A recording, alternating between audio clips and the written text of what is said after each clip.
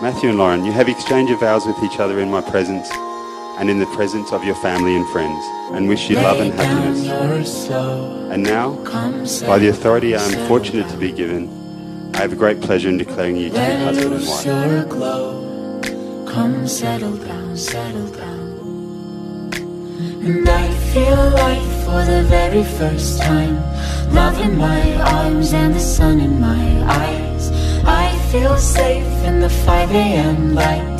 You carry my fears as the heavens set fire. Jump into the heat, spinning on our feet in a technicolor beat. You and me, caught up in a dream in a technicolor beat.